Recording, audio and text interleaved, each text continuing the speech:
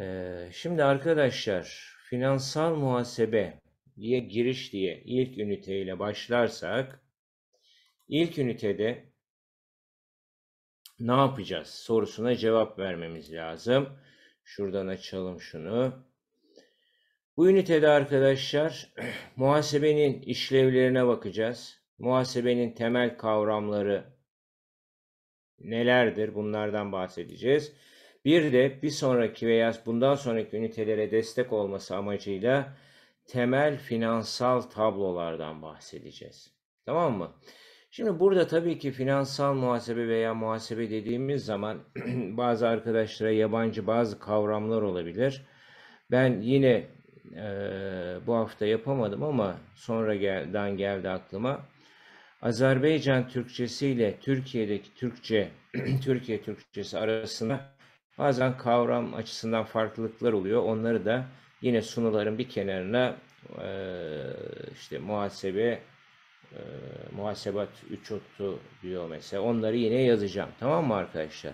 Yine sizin böyle kavramlarla ilgili değişik şeyler aklınıza gelirse onları da paylaşırsanız benimle diğer arkadaşlarınıza da yardımcı olmuş oluruz. Şimdi hemen gelin ilk üniteden bahs baş ilk ünitenin ilk konusu muhasebe nedir sorusuyla başlayalım arkadaşlar. Tamam muhasebe nedir? Şimdi diyoruz ki bakın muhasebe dendiği zaman ekonomik olayların ölçülmesi, sınıflandırılması yolu ile tamam mı? Yolu ile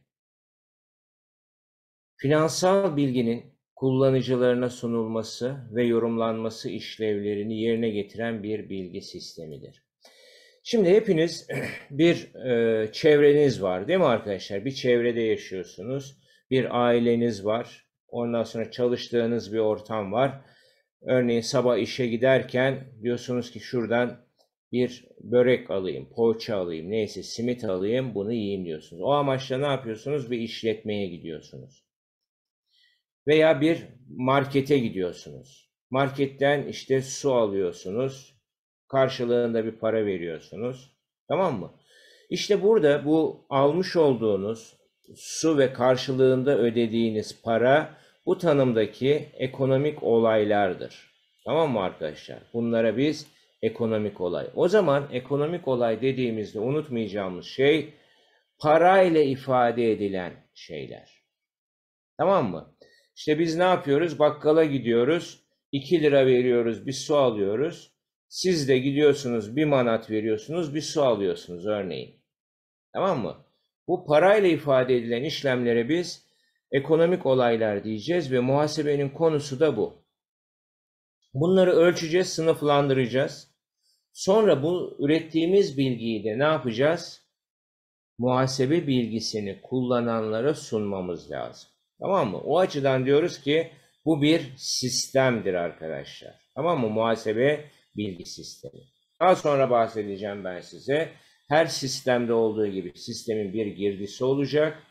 Bir de sistemin çıktısı olacak. Tamam mı?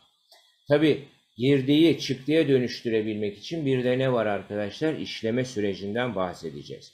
Ki finansal muhasebe bir dersinde bu işleme süreci üzerinde duracağız genellikle.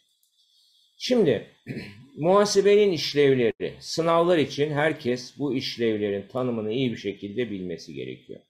Tamam mı? Ne demiştik? Muhasebe mali karakterli işlemlerle ilgileniyordu. Hadi bakalım cevap verin. Mali karakterli ekonomik olay dediğim neydi arkadaşlar? Ekonomik olay nasıl tanımlamıştım ben size? Ekonomik olaylar neydi? Nasıl ifade ediyorduk? Hadi bakalım. Abu Üzer, Esra Hanım, Salayeva, Uğurcan Bey, hadi. Siz de destek verin, birlikte yapalım artık. Ekonomik olay dediğimiz şey neydi arkadaşlar? Parayla ifade edilen işlemlerdi. Tamam mı? Parayla ifade edilen işlemlerdi. Şimdi muhasebenin işlevleri dediğimizde bu parayla ifade ettiğimiz ekonomik olaylar öncelikle kaydedilecek arkadaşlar. Tamam mı? Bunu bu sırayla bilmek durumundasınız. Kaydedilecek. Sonra sınıflandırılacak, tasnif edilecek. kaydedilen mali karakterli işlem veya ekonomik olay ne yaptık? Kaydettik. Sonra sınıflandıracağım. Daha sonra sınıflandırılan bu bilgi özetlenecek. Özetlediğimiz şey mali tablolardır az sonra söyleyeceğim. Tamam mı? Ve sonuçta da bu mali tablolardaki bilgileri analiz yapacağız. Ki işletme fakültesinde okuyorsunuz değil mi? İşletme bölümünde. Ee, yanılmıyorsam 5 veya 6. yarı yılda mali tablolar analizi veya finansal tablolar analizi dersi göreceksiniz. Orada analiz ve yorumlamayı detaylı bir şekilde anlatacaklar arkadaşlar. Şimdi kaydetme dediğimizde şunu bilmek zorundayız arkadaşlar. Ekonomik bir olay çıktı. Bir işletmeniz var. Tamam mı? Bir işletme var. Bu işletme mal satın aldı. Siz satın aldığınız bu malı işletme olarak bakın burada yazıyor. Dikkat edin şu imleci takip edin. Yevmiye defterine, diğer ifadeyle günlük deftere kaydetme işlemidir. Tamam mı? O zaman kaydetme dediğimizde not alan arkadaşlar yazıyor. Kaydetme günlük deftere yapılacak. Az sonra diyeceğiz ki günlük deftere madde şeklinde yapılacak. Ha madde nedir? Nasıl kayıt yapılıyor anlatacağız. Şimdi kaydetmeyi bu şekilde tanımladıktan sonra arkadaşlar sınıflandırma dediğimiz şey ne demiştik? İşletme mal aldı. Günlük deftere kaydettim. Daha sonra bunu hesaplarda, büyük defterde sınıflandırmam gerekiyor. O zaman sınıflandırma dediğimiz şey, bir unutmayacağınız şey sınıflandırma. İki nokta üst üste ne yazacağız? Büyük defter ve hesaplardan bahsedeceğiz. Tamam mı? Büyük defterde hesaplarda sınıflandırılır diyeceğiz. Sonra özetleme geliyor. Özetleme iki nokta üst üste özetleme ile finansal tabloları bir arada düşünmeniz lazım. Tamam mı? Ve diyeceğiz ki finansal raporlar, finansal tabloların oluşturulma süreci özetleme olarak ifade edilecek. Tamam. Finansal tablolar nelerdir? Bu ders kapsamında biz bilanço ve gelir tablosundan bahsedeceğiz. Örneğin bir işletme düşünün arkadaşlar. Az önce ne dedik? İşletme mal satın aldı. Bu işletme ne yapacak? Mal alacak, mal satacak, bankaya para yatıracak, bankadan para çekecek, alacak olacak, alacağı tahsil edecek, alacağı ödeyecek, değil mi? Çok sayıda işlem yapacak. Ve bir yıl içinde diyelim ki bu işletme her gün 10 işlem yapmış olsun, tamam mı? 365 günde çalışıyor olsun. 365 çarpı 10 derseniz 3650 tane işlem olacak. Mal almak, mal satmak gibi. Şimdi 3650 tane işlemi kaydedip sınıflandıracak. Dedik ki özetleyecek. Nerede? Bilanço ve gelir tablosunda. Bilanço ve gelir tablosu dediğimiz şey arkadaşlar şöyle düşünün bir sayfa kağıt. Bilanço dediğimiz şey. Tamam mı? Bir sayfa kağıt. Bu bir sayfa kağıtta özetlenen bilgi nedir? İşte o 3650 tane işlem bu mali tabloda ki bunun adı bilanço diyeceğiz finansal tabloya rapora burada özetlenecek. Aynı şekilde gelir gider orada özetlenecek. Sonuçta bu bilgileri kullanılabilir hale getireceğiz. Tamam mı? Bu amaçla da ne yapacağız?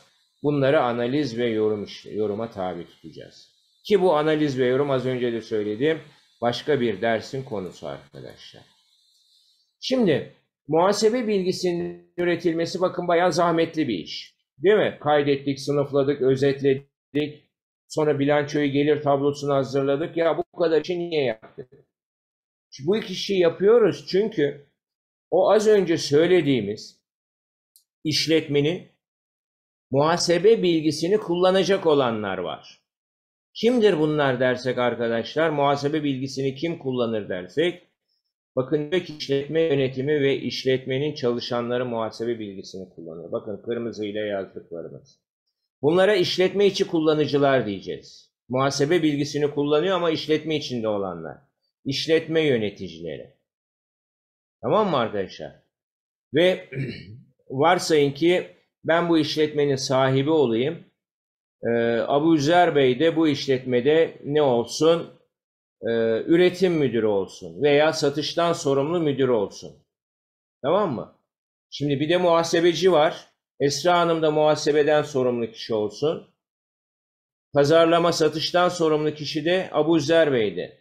Ne yapacak Abu Zer Bey? Diyecek ki işte Esra Hanım'a muhasebeci hanım diyecek. Bana bazı bilgiler lazım. Hangi maldan ne kadar sattım? Kaç liralık? Kime sattım? Hangi bölgeye daha çok sattım? Gence mi daha çok satın aldı? Bakü mü daha çok satın aldı? Değil mi? Bu bilgilere ihtiyacım var. Pazarlamadan sorumlu kişi olarak. E bu bilgileri kim verecek size? Muhasebe verecek. Yani muhasebeden sorumlu olan kişi verecek. O da Esra Hanım olacak. Sonra diyor ki işletmenin çalışanları yine muhasebe bilgisini kullanır. Peki işletmenin çalışanları muhasebe bilgisini nasıl kullanır? Şimdi ne dedik? Abu Zer Bey, Esra Hanım bu işletmenin çalışanı. Nargis Hanım da bu işletmenin çalışanı olsun. Ve siz bana geldiniz, ben de patronum, işletmenin sahibiyim. Siz benden dediniz ki zam istiyoruz. Bak dediniz enflasyon artıyor, geçim sıkıntısı var. Her birimizin maaşına işte bize zam yap. Şimdi tamam ben size zam yapayım dedim. Yüzde on dedim örneğin zam yapayım. Siz dediniz ki ya olur mu şirket çok karlı. Karı çok yüksek. Bize daha çok. E nereden çıkarıyorsunuz kar? Diyorsunuz ki işte gelir tablosunu çıkar 2021 yılının. Bak orada görürsün. Hatta siz diyorsunuz ki siz veya sizin temsilcileriniz getirin şu işletmenin bilgilerine bir bakalım. Ona göre zam talebinde bulunalım. Tamam mı? İşçinin temsilcisi kim? Sendikalar kullanabilir muhasebe bilgisini veya az önce örnekte olduğu gibi sizler kullanabilirsiniz. Sonra başka kimler kullanır arkadaşlar? Tedarikçi. Tedarikçi dediğim kim? Bana mal satan kişi, benim mal satın aldığım kişi. Tamam mı? Bana mal satan kişi tedarikçi. Örneğin o da kim olsun? Şuradan bakalım. Başka bir arkadaş bu. Bakalım. Salayeva. Salayeva'nın da başka bir işletmesi var. Ben de gittim Salayeva'ya dedim ki ya ben senden mal alacağım. Ne kadarlık mal alacaksın dedi bana. Ben dedim ki işte 500 bin manatlık mal alacağım. Ama bunun parasını 6 ay sonra ödeyeceğim. Salayeva der ki ya tamam iyi hoş al 500 bin liralık da fena bir satış olmaz benim için ama acaba sen bana bu borcu öder misin ödeyemez misin? Yani borç ödeme gücün var mı yok mu? Benim borç ödeme gücüm nereden çıkar yine? Muhasebe bilgisinden çıkacaktır. Aynı şekilde kredi verenler. Kredi verenler kim olsun? Uğurcan'da bir bankada sorumlu olan kişi. Gittim ben işletmenin yöneticisi veya sahibi olarak Uğurcan Bey'e dedim ki bana kredi lazım. Ne kadar dedi? 1 milyon manat borç ver bana dedim bankaya. Hemen verir mi? Vermez. Der ki Kerim Bey git mali tablolarını getir. Örneğin Türkiye'de var. Bankalar kanuna bakarsanız muhtemelen Azerbaycan'da da vardır böyle bir düzenleme. Diyor ki eğer belli bir limit üstünde kredi istersen bankadan diyor mali tablolarının az sonra bahsedeceğim yeminli mali müşavir yani muhasebe meslek mensubu tarafından onaylanması gerekir diyor. Tamam mı? E onu nasıl yapıyor o zaman bana e, kimdi Uğurcan Bey kredi verirken benim mali tablolarımı diyor ki git bilançonu gelir tablonu getir onlara bir bakayım borç ödeme gücün var mı tedarikçide olduğu gibi. Başka kim varmış? Devlet. Devlet de zaten muhasebe bilgisini kullanır değil mi? Niye? Çünkü siz devlete elde ettiğiniz kar üzerinden hesapladığınız vergiyi ödersiniz. Tamam mı? O zaman ne oldu? Devlet de acaba Kerim doğru veya Kerim'in işletmesi doğru beyan etti mi etmedi mi? Ben örneğin dedim ki 100 bin manat vergi vereceğim. Acaba 100 bin doğru mu? Ne der devletin dene, devlet denetçileri yardımıyla? Getir bakalım şu defter belgelerini, beyanlarını bir bakalım der. Kontrolünü yapar. Onun dışında ortaklar, hissedarlar var değil mi? İşletmenin ortakları, hissedarları. Ve diyelim ki 50 tane ortak var. Size niye ortak oluyorlar? Kar elde etmek için. Değil mi? İşletmeye para veriyor hissedar dediğiniz kişi. Acaba kar mı var, zarar mı var? Gelecekte karı ne olacak? Değil mi? Bunlara ilişkin bilgileri yine kullanır. Veya diyelim ki e, kim olsun? Uğurcan Bey bankada çalışıyor ama hem de biraz tasarrufu var. Gelecek bizim şirkete yatırım yapacak. Bunlara ne diyoruz biz? Potansiyel yatırımcılar diyoruz. Yani acaba ben elimdeki tasarrufu götürüp Kerim Banar'a vereyim mi? İşletmesine vereyim mi? Niye verecek bana? Değer artışı kar payı, menkul kıymetleri anlatacağız. Para verecek, ben de ona kar vereceğim. E bu bilgiyi nereden alacak ben kar elde edip etmediğimi görmek için? Yine muhasebe bilgisini kullanacak arkadaşlar. Şimdi muhasebe ile ilgili ha, şunu da söyleyelim. Burası sınavlar için önemli arkadaşlar. Sınavda bazen soruyorlar. Yanılmıyorsam geçmiş yıllarda sormuşlardı. Aşağıdakilerden hangisi işletme içi veya işletme dışı muhasebe bilgisi kullanıcısıdır? O zaman işletme yönetimi ve çalışanlar işletme içi kullanıcılar, diğer saydıklarım şurada mavi ile olanlar değil mi? Şu mavi herhalde. Mavi ile yazdıklarımızda işletme dışı kullanıcılar bunu herkesin bilmesi gerekiyor. Şimdi finansal muhasebe ve yönetim muhasebesi diye muhasebeyi iki ana gruba ayırıyorlar. Bir de maliyet muhasebesinden bahsediyorlar. Finansal muhasebe dediğimizde arkadaşlar az önce söylediğimiz şeyler aslında finansal muhasebe ile ilgili. Yani finansal raporun hazırlanma süreci. Nedir bu? Az önce söyledim. Kaydetme, sınıflandırma, ekonomik olayların kaydedilmesi, sınıflandırılması ve bunun sonucunda finansal raporların oluşturulması sürecidir diyor. Ve siz burada ne yapıyorsunuz? Diyorsunuz ki ben 100 liralık mal aldım diye 100 lira diye kaydediyorsunuz. 100 lira mal alıp da 80 lira kaydetmiyorsunuz. Veya 120 lira kaydetmiyorsunuz. O zaman diyor ki bakın bilgiler analiz ve değişmeye uğramaksızın kaydedilir. Bir belge vardır bahsedeceğiz. Bu belgede ne yazıyorsa onu kaydederiz diyor. Ve sonuçta az önce ne demiştik? Muhasebe bilgisini kullananlar vardı. Bunlara karşı diyor ki bakan şeffaflığı ve hesap verilebilirliği de güvence altına almış olacak bilgi üretilecek. Ve hazırlanan raporlar ki bunlar e, az sonra bahsedeceğim. İşletmenin varlık borçları sermayesini yani bilançoda yer alan bilgiler var. İşletmenin karlılığı, gelir tablosu ile ilgili, nakit akış tablosu ile ilgili ve benzeri bilgileri sunacaktır. Kim? Finansal muhasebe. Buraya dikkat edeceğiz. O zaman finansal muhasebe ne yapıyor? Mali karakterli işlemleri kaydediyor, sınıflandırıyor, sonra özetliyor. Yani finansal raporları oluşturuyor. Bunu yaparken herhangi bir değişiklik yapmıyor bilgiler üzerinde ve sonuçta ürettiği mali tablolarda neleri gösteriyor? Varlık, borç, sermaye, karlılık ve nakit akışlarını gösteriyor. Bir de yönetim muhasebesi var arkadaşlar. Tamam mı? Yönetim muhasebesi ise daha çok karar almaya yönelik. Tamam mı? İşletmenin faaliyetlerinin planlanması. Çalışan arkadaş var mı içinizde arkadaşlar? Bir işletmede çalışan var mı? Şu anda derste olup mesaj yazabiliyorsunuz herhalde. Veya sesli katılabiliyorsa sesli katılabilirsiniz. Ee, var mı arkadaşlar? Ha. Şimdi Uğurcan Bey diyor ki ben çalıştım. Şimdi ne yaptınız Uğurcan Bey? İşletmede mesela çalıştınız.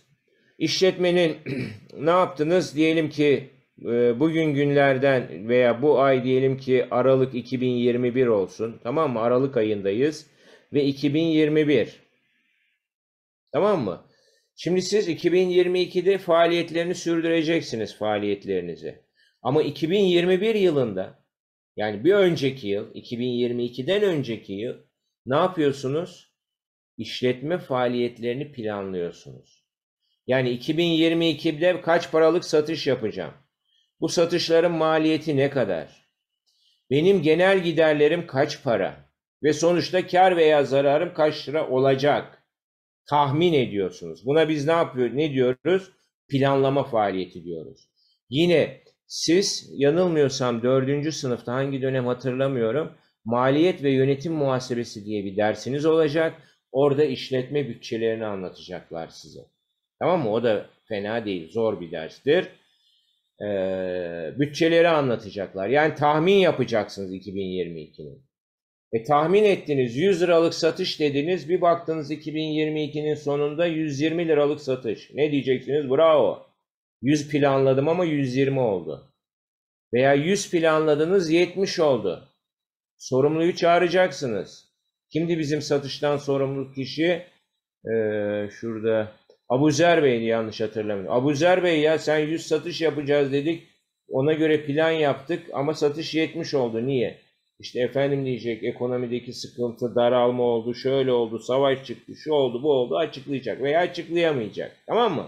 O zaman yönetim muhasebesindeki şey karar almaya yönelik faaliyetler var burada. Burada unutmayacağınız şey yönetim muhasebesi dendiğinde planlama ve kontrol. Tamam mı? Ve karar almaya destek. Ee, karar alma dediğimizde bu ikinci başlık var işte. Fiyatlama kararları bunun içinde yeni bir ürün üretelim mi, üretmeyelim mi, mevcut üretimin bir kısmını dışarıya mı verelim gibi çok farklı kararlar var. Dediğim gibi bunlar bir diğer dersin konusu olarak karşınıza çıkacak. Şimdi sınavlar için bilmeniz gereken bir diğer konuda arkadaşlar muhasebe mesleği. Şimdi Türkiye'de muhasebe mesleğine baktığınızda arkadaşlar burada yazıyor. 3568 sayılı bir yasa var. Tamam mı? Muhasebe meslek kanunu. Ne zaman çıktı bu? 1989 yılında yürürlüğe girdi muhasebe meslek yasası. Şimdi muhasebe meslek yasasına baktığınızda sınavlar için bunu unutmayın. Türkiye'de iki tane muhasebe meslek mensubu var. Bakın burada yazıyor meslek mensupları. Serbest muhasebeci ve mali müşavir, bir de yeminli mali müşavir. İki tane muhasebe meslek mensubu var. Bunu unutmayacağız. Alo. Sınavda sorabilirler. Derler ki aşağıdakilerden hangisi muhasebe meslek mensuplarından biridir veya değildir. Tamam mı? O zaman bu ikisini iyi bir şekilde bileceğiz. Ne diyeceğiz? Serbest muhasebeci, mali müşavir, yeminli mali müşavir, muhasebe meslek mensuplarıdır. Şimdi arkadaşlar, serbest muhasebeci, mali müşavir olabilmek için öncelikle bir staj müessesesi var. Staj. Staja ne diyorsunuz Uğurcan? Azerbaycan Türkçesinde baktım ama ben onu unuttum. Bir yere yazmam lazım. Stajyer. Yani ne yapıyor? İşi öğrenmek için bir yere gidene ne diyorsunuz arkadaşlar? Azerbaycan Türkçesinde stajyer muhtemelen deniyordur orada da. Ama kavramı biliyorsunuz değil mi stajyerin ne olduğunu? Bir mesleğe girmeden önce o mesleğe hazırlık süreci gibi düşünün. Tamam mı? Öncelikle stajyer olarak başlıyorsunuz. Bunun için bir staja giriş sınavı var arkadaşlar. Bu staja giriş sınavında başarılı olanlara diyorlar ki tamam staj yapabilirsin. Bir meslek mensubunun yanında 3 yıl süreyle staj yapıyorlar. Sonra bir yeterlilik sınavına giriyorlar. Başarılı olanlar serbest muhasebeci mali müşavir olarak çalışmaya başlıyor. Serbest muhasebeci mali müşavir 10 yıl çalıştıktan sonra isterse tekrar bir sınava giriyor yeterlilik sınavına yeminli mali müşavir olabiliyorlar. Tamam mı? Bunlar e, TÜRMOP dediğimiz bir meslek örgütümüz var. En üstte çatı örgüt. Onun himayesinde, onun kontrolünde tabi burada e, çeşitli kurumlardan, üniversiteler dahil e, Maliye, Hazine Maliye Bakanlığı'ndan da uzmanların katıldığı sınavlarda yapılıyor. Şimdi o zaman staj diye başlayacak. Sonra stajdan sonra yeterlik sınavına girecek. Serbest muhasebeci mali müşavir olacak. Eğer devam etmek istiyorsa bir üst ünvanı alayım diyorsa yeminli mali müşavir olarak çalışmak istiyorsa 10 yıl serbest muhasebeci mali müşavir olarak çalıştıktan sonra e, yeminli mali müşavirlik sınavında da başarılı olursa bu, bu ünvanı alıyor. Tabii illerde meslek odalarında örgütlenmiş meslek mensupları. Bakın güncel rakamdır bunlar. Türkiye'de e, serbest muhasebeci ve mali müşavir odası sayısı şu anda 77. Yeminli mali müşavirler odası sayısı ise 8 oda var. Yani toplam meslek mensupları bu odalarda üye olarak bulunuyorlar. Bunların da en üstünde az önce söylediğimiz gibi TÜRMOP dediğimiz Türkiye Serbest Muhasebeci Mali Müşavirler ve Yeminli Mali Müşavirler Odaları Birliği var. Bu da mesleğin en üst örgütü. Yani meslek mensuplarının çalışma şartlarının iyileştirilmesi, bunların özlük hakları, mali konulardaki düzenlemeler, meslek mensuplarının çeşitli alanlarda temsili bu meslek e, örgütü tarafından, çatı örgütü tarafından yürütülüyor. Dedikten sonra arkadaşlar Şimdi dedik ki muhasebe meslek e, muhasebe mesleğiyle ilgili düzenleme 1989 yılında yapıldı arkadaşlar. Daha sonra 1992 yılına gelindiğinde Aralık ayıydı yanılmıyorsam e, muhasebe sistemi uygulama genel tebliği yayınlandı. Yani nasıl meslek belli bir düzene alındıysa yasayla sonra da dendi ki ya muhasebe uygulamalarının da bir düzen altına bir çerçeve oluşturulması gerekiyor. Muhasebe meslek mensuplarının o çerçevede çalışması gerekiyor ve bu amaçla 92 Aralık'ta bir düzenleme yapıldı. Muhasebe sistemi uygulama genel tebliği yayınlandı. Bir numaralı tebliğ. Ve o tebliğ 1 Ocak 94'te de yürürlüğe girdi. O arada da hazırlık aşaması oldu işletmeler için.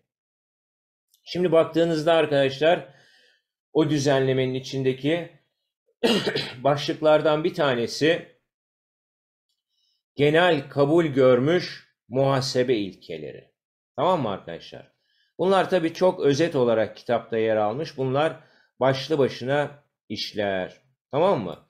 Şimdi ama sizden bilinmesini e, istedikleri şeyler gelir tablosu ilkeleri dediğimizde az önce hani bazı şeylerle iki nokta üst üste demiştik ya çalışmak için not alan arkadaşlar gelir tablosu ilkeleri iki nokta üst üste belirli bir döneme ilişkin faaliyet sonuçlarını oluşturan gelir ve giderlere ilişkin ilkelerdir. Faaliyet sonuçlarını unutmayacağız. Faaliyet sonuçları nedir? Sattığımız mal bedelidir. O sattığımız malın maliyetidir. Faiz gelirleridir. Finansman giderleridir. Kira gelirleridir. Kambiyo karlarıdır. Kambiyo zararları bunları anlatacağız. Faaliyet sonuçlarının altını çizdiniz. Tamam mı? Faaliyet sonuçlarına ilişkin düzenlemeler gelir tablosu ilkeleri. Bir de bilanço ilkeleri var arkadaşlar. Bilanço ilkelerine baktığımızda da eee, burada da bilançoda ne vardır? Az sonra bahsedeceğim. Varlık ve kaynak kısmı var. Kaynak kısmı da kısa vadeli, uzun vadeli, yabancı kaynaklı, öz kaynaklar var. Tamam mı? Ee, bilançoya ilişkin düzenlemelerin yer aldığı. Hemen iki nokta üst üste bilanço dediğimizde unutmayacağımız şey varlıklar, yabancı kaynaklar ve öz kaynaklara ilişkin düzenlemelerde nerede yer alacakmış? Bilanço ilkelerinde. O zaman bakın sınavlar için herkes şunu bilecek. Gelir tablosu ilke, ilkeleri dediğim şey faaliyet sonuçları ile ilgili. Ama ne ile ilgili? Belli bir dönem diye bir tanım var orada. Faaliyet sonuçları. Diğer tarafta ne var arkadaşlar? Bilanço ilkelerinde finansal durum dediğimiz neler var? Bakın burada başlık olarak verilmiş. Varlık, yabancı kaynak ve öz kaynaklara ilişkin ilkeler. Bilanço ilkeleri içinde ne dedik? Finansal durum dedik arkadaşlar. Bunlar madde madde sayılmış. İşte netleştirme, mahsuplaştırma yapılmayacağı, karşılıkların ne şekilde muhasebe kaydına alınacağı gibi tamam mı? Veya dönem ayarlamalarında anlatacağız. Kısa ve uzun vadeli yabancı kaynak ayrımı nasıl yapılacak gibi düzenlemeler veya ilkeler orada sayılmış. Şimdi ilkelerden bahsettikten sonra arkadaşlar sınavlar için dikkat. Muhasebenin kavramları burada madde olarak sıralandı. Ben bu 8 hafta boyunca sırası geldikçe bunlardan bahsedeceğiz. Tamam mı arkadaşlar? Ama herkes bu önümüzdeki haftaya kadar kitabınızdaki bu kavramları e, hızlı bir şekilde okusun. Bazıları çok kolay. Bazılarının anlaşılmasında birazcık güçlük var. Ama onunla ilgili de kendinize ipuçları çıkarmaya çalışın arkadaşlar. Şimdi muhasebenin temel kavramları arkadaşlar, işlemler muhasebeleştirilirken tamam mı? Bu kavramlar dikkate alınıyor. Neymiş bunlar dersek, hani bahsetmiştim ya, e, muhasebe sistemi uygulama genel tebliğinde bu kavramlar muhasebeyi yönlendiren düzenlemelerden bir tanesiydi. Sosyal sorumluluk kavramı bir, kişilik kavramı iki, işletmenin sürekliliği kavramı, dönemsellik kavramı, parayla ölçme kavramı, maliyet esası kavramı, tarafsızlık ve belge, belgelendirme kavramı, tutarlılık kavramı, tam açıklama kavramı, ihtiyatlılık kavramı, önemlilik kavramı ve özün önceliği kavramı. Yine yanlış hatırlamıyorsam geçmiş yıllarda sorulan sorularda neler vardı benim hatırladığım? Tutarlılık vardı, sosyal sorumluluğu sormuşlardı. Ee, bir de ihtiyatlılık olabilir. Ama dediğim gibi bunların hepsinde durmamız gerekiyor. Şimdi sevgili arkadaşlar yalnız benim yanımda saatim yok. Bunun da altını ben kapattım. Ee, kaçıncı dakikadayız arkadaşlar? Bana bir veya saat kaç şu anda Azerbaycan saatiyle? Saatiniz kaç oldu? Ee, şurada. Ha, şu anda yarım saat mi oldu? Tamam. Ha, beş buçuk. Tamam, mükemmel. Ya oradan bana tamam. Tamam arkadaşlar. Daha var, yeni başlamışız. Şimdi arkadaşlar, bu kavramlara bakarsak, sosyal sorumluluk kavramından bahsedeceğim. Buna ilişkin çünkü bir soru sordum. Tekrar etmeyelim aynı şeyi bir daha. Mesela işletmenin kişiliği kavramı, kişilik kavramı. Burada diyeceğiz ki mesela işletmenin kişiliği dediğimizde işletmenin sahip sahiplerinden, çalışanlarından ayrı bir kişiliği vardır. Tamam mı arkadaşlar? Ayrı bir kişiliği vardır dedik. Şimdi kim var mesela yine Abuzer Bey olsun. Abuzer Bey bir işletme kurdu. Bir market kurdu. Tamam mı? Ne dedi işte Bakü Market diye kurdu. Kuran kim? Abuzer. Abuzer Bey burada. Kurduğu işletme burada bakın.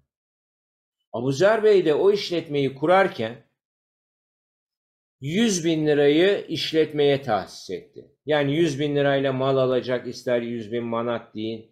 Raflara koyacak onları satacak işte masa alacak sandalye alacak her neyse. Şimdi burada diyor ki bakın işletmenin işletme sahibi olan Abuzer Bey'den ayrı bir kimliği vardır, kişiliği vardır. Bahsedeceğim. Sermaye bunun tanımına girer. İşletmenin sürekliliği kavramı. İşletmenin ömrü sonsuzdur der. Bahsedeceğiz.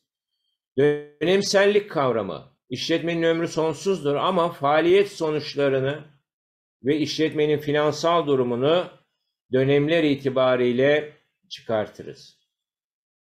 Dö- dönem sonu işlemleri diye bir dersiniz var 3. yarı yılda yanlış hatırlamıyorsam. Orada zaten bütün yoğunluk bu dönemsellik kavramına verilecek arkadaşlar. Parayla ölçme kavramı. Parayla ölçme kavramı diyor ki e, bir ülkede bir işlem yabancı parayla yapılsa dahi o ülkenin para cinsinden muhasebeleştirilir. Yani siz Azerbaycan'da manatla işlem yapıyorsunuz, değil mi? Paranın para birimi manat ama siz dolar, euro, riyal cinsinden işlem yapıyorsanız eğer onları muhasebeleştirirken diyor yine manata çevir, manat olarak muhasebeleştireceksin diyor. Tamam. Sonra maliyet esası kavramı. Burada e, duran varlıklar veya ticari mallar gibi unsurların maliyet bedeliyle muhasebeleştirileceğini söylüyor. Tarafsızlık ve belgelendirme buradaki önemli kavramlardan bir tanesi. Belge olmadan işlemin yapılmayacağı, bir işlemin muhasebeleştirilmeyeceğini söyler. Tutarlılıkla ilgili az sonra soru var. Tam açıklama mali karakterli bir işlemin tam olarak açıklanması. İhtiyatlılık diyor ki e, olası gider ve zararları muhasebeleştirin bahsedeceğiz. Önemlilik kavramı finansal tablolarda düzenleme yaparken bu kavrama dikkat edin diyor. Çünkü muhasebede diğer kavramı önemlidir. Her şeyi diğerin içine atamıyoruz. Önemli olanların belli bir büyüklük de var burada. Gelir, e, gelir tablosu ilkelerinde ve bilanço ilkelerinde de bunlar belirlenmiş. Özün önceliği kavramında da işin özüne bakın diyor. Finansal tablolarda raporlarken ve işlemleri muhasebeleştirirken, e, stokları anlatırken verilen sipariş avansları için örneğin diyeceğiz ki özün önceliği kavramı önemli diyeceğiz. Şimdi arkadaşlar bir de herkes sınav için bu iki tanımı çok iyi bilecek. Ki bunları az önce söyledim. Bilanço. Bilanço dendiğinde varlık ve kaynak. Herkes adı soyadı gibi bilecek. Bilanço, varlık ve kaynakların yer aldığı finansal tablo. Ama burada bir şeye dikkat edeceğiz bu tanımda. Belli bir tarihin altını çizeceğiz. İşletmenin belli bir tarihte sahip olduğu. Tamam mı? İşletmenin belli bir tarihte sahip oldukları varlıklar ile bu varlıkların sağlandığı kaynaklar. Çünkü bir işletmenin varlığa sahip olabilmesi için parasının olması lazım. Parayı kim verecek size? İşletme sahibi verecek. İşte o kaynak. O kaynağı kullanarak mal alırsanız, bankada hesap açtırırsınız veya başka şeyler olur. Tamam. Gelir tablosu dediğimizde de arkadaşlar bu tanımda belli bir dönemin altını çizeceğiz ve faaliyet sonuçlarının yer aldığı finansal tablodur diyeceğiz. Tamam mı? Faaliyet sonuçları. Bilançoda ne var? Finansal durumu gösteriyor. Zaten finansal durum tablosu denmesinin bir nedeni de bu. Faaliyet sonuçlarını gösteren gelir tablosu, işletmenin finansal durumunu gösteren yani varlık ve kaynağı gösteren bilanço. Bir de neyi unutmayacağız arkadaşlar? Bilançodaki belli bir tarih, gelir tablosunda belli bir döneme dikkat etmemiz gerekiyor. Şimdi az önce dedik ki e, işletmenin varlıkları var, borçları var, sermayesi var dedik. Hani e, üretilen bilgilerden bahsederken. Değil mi? Hani finansal muhasebe demiştik, yönetim muhasebesi demiştik. Orada finansal muhasebeyi tanımlarken neyi üretiyorduk? Varlık, borç ve sermaye ilişkin veya öz kaynaklar demiştik. O bilgiyi üretiyor idi. Şimdi herkes yine varlık nedir, borç nedir, sermaye nedir bunların tanımını verecek bilmesi. Varlık dediğimiz şey işletmenin sahip olduğu ekonomik değerlerin adıdır arkadaşlar. Varlık dediğimiz şey bir işletmenin sahip olduğu ekonomik değerlerin adına biz ne diyeceğiz? Varlık diyeceğiz. Borç dediğimiz şey ise işletme sahipleri dışındaki taraflardan ya da işletme sahiplerinden ortak olmaları vasfı kullanılmadan elde edilen kaynaklardır. Az sonra birazdan hemen örnek verelim bunları. Sermaye dediğimiz şey ise arkadaşlar işletme sahiplerinin işletmenin varlıkları üzerindeki haklarıdır. Yani diyor ki işletmenin işletme sahiplerine olan borcudur. Bu ne demek? Şimdi bakın bir tane örnek yapalım. Kim olsun gönüllü? Ee, var mı gönüllü? Ben işletme kurmak istiyorum diyen var mı? Bir tane işletme kuralım hemen. Gönüllü var mı? Bir işletme kuralım onun adıyla. Nergis Hanım. Nergis Hanım işletme kurmaya karar verdi. Tamam mı? Az önce de söylemiştik. Ve Nergis Hanım'ın sahip olduğu paranın bir kısmını işletmeye veriyor. Tamam mı? İşletme kuruldu. Kaç para diyelim? 100 bin manatla işletmeyi kurdunuz. Nergis Hanım var. Nergis Hanım'ın bir serveti var. O servetteki 100 bin manatla yeni bir işletme kuruyor. Tamam mı? Bir e, kitap veya kırtasiyeci, tamam mı? Defter kalem satan bir işletme kuruyor. Kaç manat? 100 bin manat. 100 bin manatı da getiriyor, işletmeye teslim ediyor. Şimdi burada işletmenin kasasında kaç para var arkadaşlar? İşletmenin kasasında 100 bin lira para var. 100 bin manat para var. Bu 100 bin manat varlıktır arkadaşlar. 100 bin manat varlıktır. Peki parayı getiren kim? Parayı getiren Nergis Hanım. Kaç para? 100 bin manat.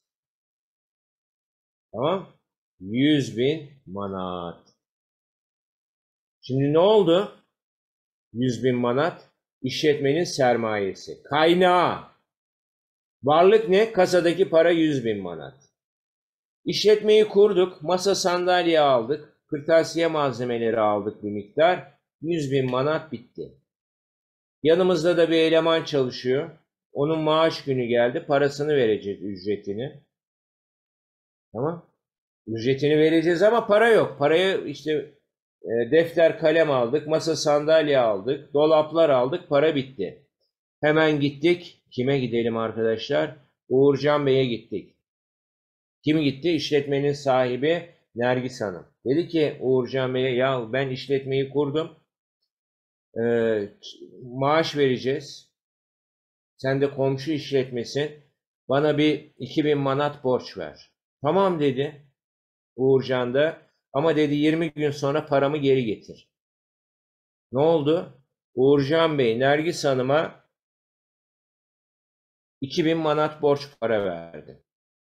Şimdi bakın sermaye ve borç arasındaki ilişkiyi Uğurcan Bey borcu kime verdi?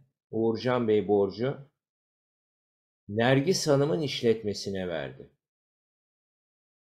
Nergis Hanım'ın iş, Nergis Hanım'ın işletmesinin Uğurcan Bey'e borcu 2000 manat.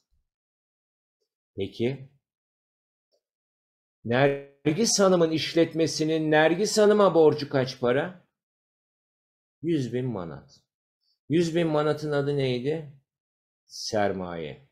2000 manatın adı ne? Borç. Tamam mı? O zaman işletme sahibinin işletmeye getirdiği para sermaye iken üçüncü kişilerden bakın diyor ki ortaklığı yok. Uğurcan Bey'in işletmeyle bir alakası yok. Dışarıdan birisi. Onun getirdiği para borç ama işletme sahibinin getirdiği paraya ne diyeceğiz biz? Sermaye. İşte söylediğimiz bu tanım aslında arkadaşlar az önce demiştik ki muhasebe kavramlarına sırası geldikçe değişice, e, değineceğiz. Buna diyoruz ki işletmenin kişiliği kavramı. İşletmenin kişiliği kavramı ne diyormuş bakın. Nergis Hanım'ın kurduğu işletmenin Nergis Hanım'dan ayrı bir kişiliği var. Nergis Hanım 100 bin manatı işletmeye verdi. İşletmenin Nergis Hanım'a borcu 100 bin lira. Nergis Hanım'ın diğer bir ifadeyle işletmeden olan alacağı 100 bin manattır. Tamam mı arkadaşlar? Peki devam. Şimdi herkesin yine adı soyadı gibi bilmesi gereken eğer bu kısmı iyi öğrenirsek arkadaşlar bundan sonraki 7 ünitede çok sorun olmayacak. Temel bilanço eşitliği veya temel muhasebe eşitliği dediğimiz bir eşitlik var. Tamam mı? Temel bilanço eşitliği veya temel muhasebe eşitliği. Bu nedir derseniz? Bu şu. Varlıklar eşittir borçlar artı sermaye. Veya varlıklar eşittir yabancı kaynaklar artı öz kaynaklar. Yabancı kaynak ve öz kaynaklar toplam kaynakları oluşturuyor. Buradan hareketle varlıklar eşittir kaynaklar. Bilanço eşitliği bu. Tamam mı arkadaşlar? Yine geçmiş yıllarda sormuşlardı. Aşağıdakilerden hangisi bilanço eşitliği için doğru bir ifadedir? O zaman bu tanımlardan herhangi birisi karşınıza veya bu eşitliklerden herhangi birisi karşınıza çıkabilir. Varlıklar eşittir borçlar artı sermaye. Peki Uğurcan Bey yine cevap veriyor. Tamam mı? Ee, şimdi işletme kaç lirayla kurulmuştu? Lira diyelim, manattan vazgeçelim. İşletmenin sermayesi kaç paraydı? 100 bin liraydı. 100 bin lirayı getirip işletmenin kasasına Nergis Hanım koymuştu. Sonra kaç para aldık borç para? Uğurcan Bey. 2000 manat değil mi? 2000 lira diyelim ona da. Kaç para oldu kasada? 102 bin lira oldu. Hadi masa sandalye aldık dedik onu unutalım. 100 bin lira paramız vardı. 2 bin daha geldi. 102 bin. Kasadaki para varlık. Kaç para? 102 bin lira. Eşittir. Borcumuz kaç para işletmenin borcu? 2 bin lira. Kimden almıştık borcu? Uğurcan Bey'den diyelim. Sermaye Nergis Hanım'dan gelmişti. 2 bin lira borç artı 100 bin lira borç 102 bin lira. Varlık toplamı bakın 100, 102 bin lira. Kaynak toplamı 102 bin lira. Bu eşitliği herkesin bilmesi gerekiyor arkadaşlar. Ve bakın şurada varlıklar dediğim kırmızıyla ifade ettim. bilançonun aktifini oluşturuyor, aktif tarafını. Bir işletmenin bilançosu. T gibi düşünün tamam mı? İşletmenin bilançosu şöyle T. Bu T'nin şurada kırmızıyla ifade ettiğim tarafı aktif. Şurada bordo, bu ne mor mu? Ee, borç ve sermaye ise nerede yer alıyormuş? Pasifte yer alıyor arkadaşlar. O zaman aşağıdakilerden hangisi bilanço için doğru bir ifade veya değildir diye sorduklarında ne dersiniz? Bilançoda varlıklar toplamı borç ve sermaye toplamına eşittir. Doğru. Varlıklar işletmenin bilançosunun aktifinde yer alır. Doğru. Kaynaklar işletmenin pasifinde yer alır. Doğru. Varlıklar şey bir bilançoda aktif ve pasif tarafı toplamları birbirine eşit olmalıdır. Bakın eşitlik var. Bu da doğru bir ifade. Tamam mı arkadaşlar? Şimdi az önce ne demiştik arkadaşlar? Aktif var. Aktifte neler var? Varlıklar var. Pasifte ise kaynaklar var. Kaynak dediğimiz neydi? Borç ve sermaye idi. Şimdi bir işletmenin bilançosu demiştik ki T. Bilançonun şurada kırmızıyla olan kısım neydi? Bilançonun aktif tarafı. Aktifte neler vardı? Varlıklar. Varlıkları ikiye ayıracağız. Üçüncü üniteden itibaren başlayacağız. Dönen varlıklar diye başlayacağız. O zaman ne var? Dönen varlıklar var. İşletmenin bilançosunun aktif tarafında varlık dediğimizde dönen varlıklar var. Bir de neler var? Duran varlıklar var. Bilançonun aktifinde. Dönen ve duran varlıkların toplamı da toplam varlıkları verecektir. Varlık dediğimiz şey neydi? İşletmenin sahip olduğu ve gelecekte fayda sağlamasını beklediği ekonomik değerlerin toplamıydı. Aha bunlar işte. Baktık. Kısa vadeli yabancı kaynaklar, uzun vadeli yabancı kaynaklar dediğimiz işletmenin borçlarıdır. Hani Uğurcan'dan 2000 lira almıştık ya, işte o burada. Ve Uğurcan 20 gün sonra paramı ver dediğine göre borcum benim kısa vadeli. Ama Uğurcan deseydi ki al 2000 lirayı 5 sene sonra getir uzun vadeli. Tamam mı? Öz kaynaklar dediğimiz şey ise arkadaşlar bunun içinde çok fazla unsur var. Ama neler var? İşletmenin sermayesi var. Yani Nergis Hanım'ın getirdiği 100 bin lira. Faaliyetler sonucunda elde edilen karlar var. Veya varsa zararları düşüyoruz. Sermaye yedekleri var, kar yedekleri var. Geçmiş yılları var, karları, geçmiş yıl kar var, zarar varsa düşürüyor onlardan. Tamam mı? Bunu da yine herkesin bilmesi gerekiyor dedik. Bir de gelir tablosu var arkadaşlar. Gelir tablosu içinde tanımı yapmıştık. Demiştik ki bir işletmenin belli bir döneme ilişkin. Ha şunu da şurada söyleyelim. Bakın bilançoda belli bir tarih var. Örneğin bugün ayın kaçı oldu arkadaşlar? 5'i mi? 5 Nisan 2022 tarihli bilanço. Bugün tarihli. 6 Nisan'da bu bilanço değişir. Ama gelir tablosuna bakın. Belli bir döneme ilişkin diyor. Örneğin diyor ki 1 Ocak 2021 31 Aralık 2021 dönemi gelir tablosu. Belli bir döneme ilişkin faaliyet sonuçlarını gösterecek. Ve diyor ki brüt satışlardan başlayacağız. Dönem net karı veya zararına kadar yer alacak.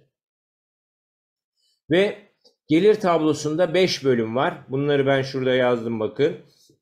Brüt kar veya zarar, faaliyet karı zararı, olağan kar zarar, dönem karı zararı, dönem net karı veya zararı. Yine arkadaşlar geçmiş yıl sorularından bir tanesiydi. Ee, işletmenin ana faaliyetiyle ilgili kar veya zararın yer aldığı bölüm gelir tablosunda hangisidir demişlerdi. Brüt kar veya zarar bölümü. Tamam mı? Ana faaliyete ilişkin kar veya zarar. O da nedir? Birinci bölüm. Satışlara ilişkin. 100 liralık mal sattım. Bunun maliyeti bana 75 liraydı. 25 lira kar var. Tamam. Ha ben bu malı satmak için 5 lira gider yaptım. Bu faaliyet gideri. Faaliyet karım kaça düştü? 20'ye düştü gibi. Tamam mı? O zaman herkes en azından brüt kar zararla faaliyet kar zararı bölümlerini iyi bir şekilde bilecek. Onun dışında neler var derseniz olağan kar zarar, dönem kar zararı, dönem net kar zararı diye 5 bölümden oluşuyor. Ama özellikle 8. üniteye geldiğimizde Buna ilişkin örnekler çözeceğiz. Şimdi birlikte anlattıklarımız çerçevesinde şimdi kaç dakika oldu arkadaşlar? Saat siz bana bir hatırlatın. Çünkü çok geç de bırakmayın. Dersiniz olabilir bundan sonra. Saat kaç oldu? Ee, 17.50 oraydı. Tamam. O zaman şöyle bundan sonra dersiniz kaçta arkadaşlar? Ders kaçta bundan sonra? Bir 5 dakikanız varsa en azından birkaç tane soru çözelim arkadaşlar. Tamam. Tamam. Bundan sonra dersiniz var mı arkadaşlar? Tamam. O zaman şu elimde 6-7 tane soru var herhalde. Hızlı bir şekilde onları da çözelim arkadaşlar. Okuyalım. Zaten hemen cevap vereceğinizi düşündüğüm sorular. 1. Paydaşlara doğru karar alabilmeleri için gereken bilgiyi sunan bilgi sistemidir. Muhasebeyi ilgilendiren bilgi finansal bilgidir. Kararlarda kullanılan finansal olmayan bilgi muhasebenin ilgi alanıdır. İşletmenin varlıkları ve kaynakları üzerinde etki yaratan ve para ile ifade edilen tüm olaylar muhasebenin konusunu oluşturmaktadır. Ekonomik olayların ölçülmesi, sistematik bir şekilde eee, düzenlenerek açıklanması ve yorumlanması için kullanılan kaynakla, kavramlar ve tekniklerin bütünüdür. Yukarıdakilerinden hangileri muhasebe ile ilgili doğru ifadelerdir diyor arkadaşlar. Bunlardan doğru ifadelerin hangileri olduğunu söylüyor. Hemen bakalım. Bir doğru mu? Doğru. İlgililere bilgi üreten bir sistemdir. Finansal bilgi kullanılır. Sonra ne diyor? Evet Abuzer. Hangileri ve hangisi varsa yanlış diyor. Bakın burada 3'e okuyalım. Kararlarda kullanılan finansal olmayan bilgi muhasebenin ilgi alanıdır. Ne demiştik? Muhasebeyi ilgilendiren en başta söyledik. Güzel. En baştaki slaytta bahsetmiştik. Herhalde Abuzer Bey onu söylemek istiyor. Parayla finansal bilgiler beni ilgilendiriyor. Finansal olmayan bilgi beni ilgilendirmez. O zaman hangileri doğru arkadaşlar? 1, 2, 4 ve 5. Bakalım hemen. 1, 2, 4, 5. Ne diyor? Kararlarda kullanılan finansal olmayan bilgi muhasebenin ilgi alanıdır. Yanlış bir bilgi diyor. Tamam mı? O zaman doğru cevap 1, 2, 4 ve 5. Evet. Şu soruya bakın hemen. Mali karakterli işlemlerin günlük deftere madde şeklinde yazılması muhasebenin nokta nokta fonksiyonudur. Muhasebenin fonksiyonlarını ne yapmıştık işlevlerini? Kaydetme, sınıflama, özetleme, analiz ve yorum demiştim. Günlük deftere madde şeklinde yazılmasına ne diyoruz arkadaşlar biz? Tamam bunları yine hem çözersiniz tekrar tekrar gözden geçirsiniz. Biz buna ne diyoruz? Ben ne demiştim? Kaydetme iki nokta üst üste günlük defter. Madde şeklinde kaydediyorduk. D şıkkı doğru kaydetme doğru cevap. Tamam mı? Günlük deftere madde şeklinde kaydediliyor idi. Devam edelim. Muhasebe fonksiyonlarından sınıflandırma için aşağıdaki ifadelerden hangisi doğrudur? Günlük deftere maddelerde sınıflandırılır. Yanlış. Günlük defter kaydetmeyde. Burada sınıflandırmayı soruyor. Finansal tablolarda sınıflandırılır. Yanlış. Finansal tablolarda özetleme yapıyordu. Envanter defterinde varlık bazında sınıflandırılır. Envanter defterinde değil, hangi defterde? Büyük defterde. Kasa defterinde nakit ve benzerleri sınıflandırılır. Yanlış. Büyük defterde hesaplarda sınıflandırılır. E şıkkı doğru cevap. Sınıflandırmanın tanımını daha önce biz yapmıştık zaten size bugün. Orayı tekrar bir gözden geçiriyorsunuz arkadaşlar. 4. Belirli dönemler itibariyle kaydedilmiş ve sınıflandırılmış olan verilerin dönem sonlarında anlamlı ve sistemli bir şekilde bir araya getirilerek raporlanması muhasebenin nokta nokta işlemidir. Raporlama kelimesini gördünüz. Hadi bunu yapın hızlı. Raporlama, finansal raporların hazırlanması. Ne diyorduk arkadaşlar finansal raporların hazırlanmasına? Finansal raporların hazırlanması özetleme miydi? Özetleme, kaydetme, sınıflama, özetleme bu işlevleri lütfen e, gözden geçirin. Özetlemenin tanımını yapmıştık. Ha dedim bu geçmiş yıllarda zaten soru oradan almışım muhtemelen. Bir işletme yönetimi, iki hissedarlar, üç, yok bu farklı şekilde sormuşlardı. Ben böyle sormuşum. Üç, mevcut ve potansiyel yatırımcılar, kredi verilenler, çalışanlar. Yukarıdakilerden hangileri işletme için muhasebe bilgisi kullanıcısıdır? İşletme için. Evet. Kimler işletme içi? Zaten gösteriyor bakın. İşletme yönetimi işletmenin içinde, hissedarlar dışında, mevcut potansiyel yatırımcılar dışarıda, kredi verenler dışarıda, çalışanlar içeride. O zaman ne diyeceğiz? 1 ve 5. E şıkkı doğru cevap. Zaten hatırlıyorsanız bunu yapmış idik. Genel kabul görmüş muhasebe ilkelerinin teorik dayanağını nokta nokta oluşturur. Genel kabul görmüş ilkelerinin. Onlar da kayıtlara esas oluyordu. Ne demiştik? 12 tane muhasebenin temel kavramı var demiştik. Muhasebenin temel kavramları genel kabul görmüş muhasebe ilkelerinin teorik dayanağını oluşturuyor. Evet. İşletmenin çevresindeki paydaşların hepsinin muhasebe bilgisine ihtiyaç duyduğu düşünüldüğünde paydaşlar dediğim kim? Muhasebe bilgisini kullananlar. Hazırlanan bilgilerin yalnızca belli bir kesimin çıkarları doğrultusunda değil. Yani muhasebe bilgisini kullanan işletme yöneticisi örneğin kendi işte ücretini artırmaya yönelik değil diyor. Tamam mı? Veya kendi performansını yükseltmesi adına değil. Bütün toplumun çıkarlarını göz önünde bulundurarak hazırlaması ve sunulması gerektiğini açıklayan muhasebe kavramı aşağıdakilerden hangisidir? Kişilik, dönemsellik, tutarlılık, tam açıklama, sosyal sorumluluk. Ne dedik? Sosyal sorumluluk kavramı. Çevredeki herkesin hakkını koruyacaksın. Sadece işletme çalışanlarının veya işletme yöneticilerinin değil. Veya sadece devletin hakkında değil.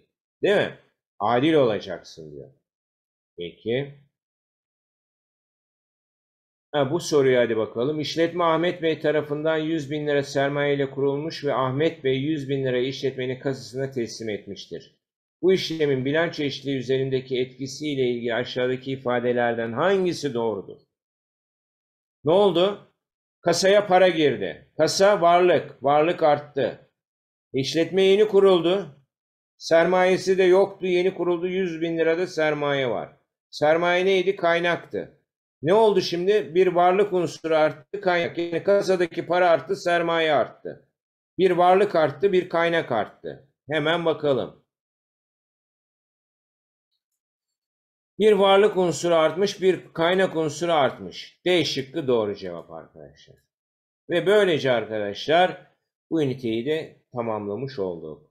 Şimdi önümüzdeki e, hafta Allah sağlık verirse ikinci üniteyi anlatacağım.